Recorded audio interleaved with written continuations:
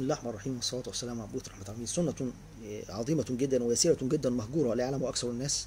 صلاة أربع ركعات بعد الع... بعد أذان العصر وقبل الإقامة. يعني قبل ما تصلي العصر سواء كنت رجل أو امرأة تصلي أربع ركعات. للأسف الشديد آه، النساء ما بتصليش سنة خالص قبل العصر. والرجال لما بيخش بدري الجامع بيصلي ركعتين ويروح قاعد. وما يعرفش إن هو لو صلى أربعة الثواب هيتضاعف أضعاف كثيرة وحصل ثواب عظيم. المقامة الأولى الرحمة. الرسول صلى الله عليه وسلم في الحديث رحم الله امرأ صلى قبل العصر أربعا. ونحن في أشد الاحتياج إلى رحمة الله سبحانه وتعالى. وتستطيع أن أنت تصلي أربع ركعات دول متصلات. يعني ما تصليهمش اتنين اتنين. لو أنت عايز للتيسير والرسول صلى الله عليه وسلم فعل ذلك كثيرا. تصلي ركعتين.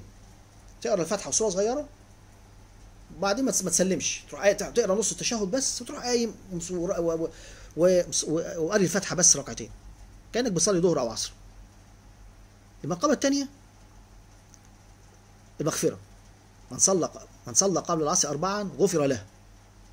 غفر له. والرسول صلى الله عليه وسلم يستثني كبائر أو صغار إلا الكبائر المتعلقة بحقوق الآدميين.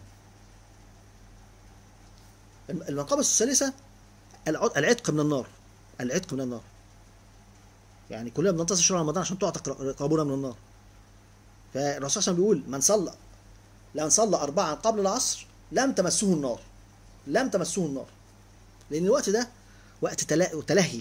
كثير من الناس بيبقى في في حاله حالة تلهي عن العبادة. اللي بيكون راجع من شغله تعبان إيه اللي اللي فلذلك وهي سنة قبلية غير غير مؤكدة. يعني الرسول كان يفعلها يفعلها بعض الأحيان ويتركها بعض الأحيان خشية أن تفرض على الأمة أو رحمة بالأمة.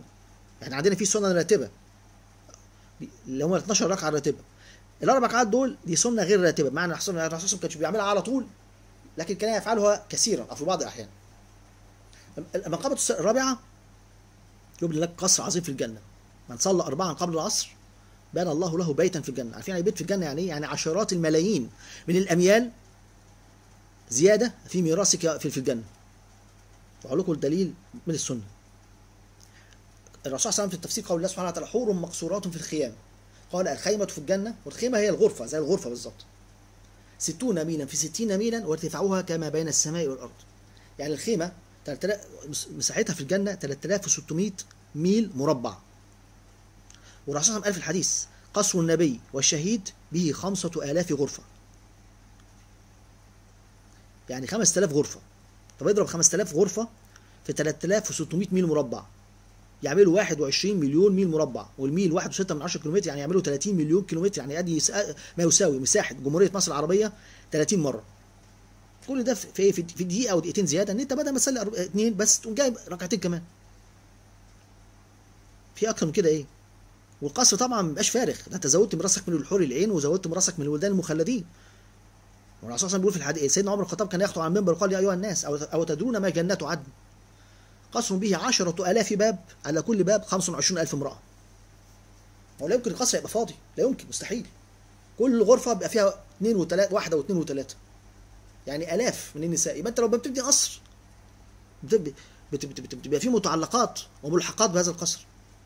ده غير الولدان المخلدين. الرسول صلى الله عليه وسلم قال في الحديث القصر في الجنة فيه من عشرة آلاف إلى سبعين ألف من الولدان المخلدين. مع كل واحد منهم صحفة من ذهب فيها صنف من طعام ليس مع الآخر يتسابقون على خدمتك في الجنة. يبقى زودت من راسك من الولدان المخلدين. عايز إيه أكتر من كده؟ المقام اللي بعد كده تكون قد أحييت سنة مات لا لا يعلم أكثر الناس. اصبحت متميزا. أصبحت متميزا. تسبق الناس يوم القيامة لأن من أحيا سنة قد ماتت أحيا الله قلبه أحيا الله قلبه يوم تموت القلوب كما قال الرسول في الحديث الصحيح. فدي سنة أكثر الناس ما تعرفهاش. فاللي يعمل سنة اللي أكتر الناس ما بتعرفهاش لازم يكون متميز عند ربنا سبحانه وتعالى. فيبقى ما تخش تصلي الجامع ما تصليش ما تقعدش ما تصليش ركعتين وتقعد ابدا. يعني مفيش إنسان عاقل ده هذا السؤال. لا صلي ركعتين. مش عايز تصلي ممكن تصلي ركعتين وتسلم وبعدين تصلي ركعتين تانيين. أو عشان ما تستثقلش ما تكسلش لا ما تسلمش. بدل ما تقول التشهد كله قول نصه بس. روح قايم ومصلي ركعتين اقرأ فيهم الفاتحة بس. كأنك بتصلي أرب... أر... كأنك بتصلي ظهر أو عصر عايز تقرأ كمان سورة صغيرة مع الفاتحة؟ مفيش مانع. خصوصا في بعض الأحيان فعل ذلك. ليس ليس بعيدا عن السنة يعني لو حبيت. إيه، يعني لو يعني لو قريت سورة الإخلاص سورة الإخلاص ثلاث مرات قريت القرآن كله في الثواب. لو قريت سورة الكافرون كأنك قريت ربع ربع القرآن سورة الزلزلة بربع القرآن. إذا جاء نصر الله والفتح بربع القرآن. مثلا يعني تقدر تقرأ الصور لصواب عظيم جدا في القرآن. مش عايز مكسل اقرأ صلي الفاتحه اقرأ فاتحه وسورة ولا ركعتين تانية اقرأ الفاتحه بس. صواب عظيم جدا. بين ال... بين الأذان والإقامة بين الأذان والإقامة. عشان ما حدش في ناس بتفهم غلط بقول لك بقى يقول لك بقى قبل العصر يقول لك بيفتكرها بعد الظهر. يعني قبل ما يأذن أذان العصر. لا مش قبل ما يأذن العصر لو هي بعد الظهر كنا قلنا بعد الظهر. كلمة قبل العصر أربع ركعات بعد العصر يعني قبل قبل الإقامة. يعني بعد أذان العصر قبل الإقامة.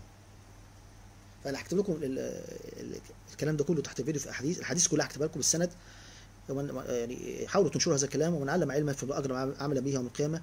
لا انقذ ذلك من كل شيء تشوش تفعيل الجرس والاشراق في القناه لا يسرقكم جديد وساعدوني على السنة الربيع كل قولي هذا أستغفر الله لي